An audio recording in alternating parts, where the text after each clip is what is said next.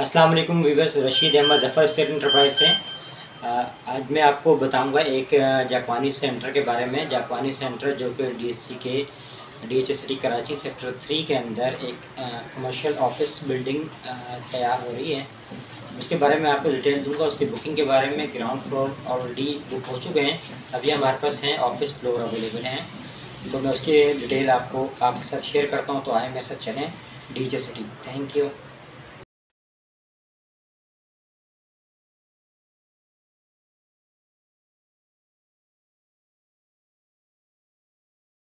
ji viewers हम आ चुके हैं डी सिटी कराची में। सेक्टर थ्री ए का ये commercial area C three dash three यहाँ पर जाकवानी सेंटर बनने जा रहा है। जाकवानी सेंटर ये आप देख सकते हैं प्लॉट नंबर फोर है। सिंगल बेल्ट का ये प्लॉट है आर पार का। एक साइड पे पार्क है पार्क फेसिंग और एक साइड पे रिज़र्व कार पे कार पार्किंग का एरिया है। इसके बराबर में डीसी के जूनियर स्कूल है, जो ऑपरेशनल है। डीसी के जूनियर स्कूल ऑपरेशनल है। इसके अलावा डाओ हॉस्पिटल, जो कि ऑपरेशनल है। और इसके अलावा जो डी ए सेक्टर थ्री की ए की जो मस्जिद है, ज़ेर तामीर, वो ऑलमोस्ट कंप्लीट हो चुकी है। किसी वक्त भी इसकी ऑनोग्रेशन हो जाएगी। इसके अलावा आप ये देख सकते हैं डीसी के हाई स्कूल ये भी ऑपरेशनल है।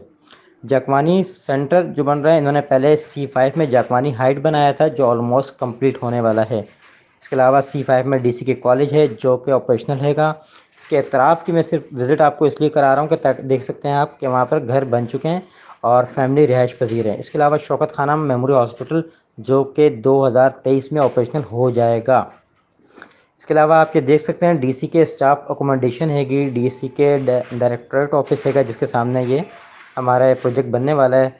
बाहर मस्जिद और विजिटर सेंटर ऑलरेडी आपने देखा होगा, ये ऑपरेशनल हैगा। मेन गेट और डायरेक्ट चकवानी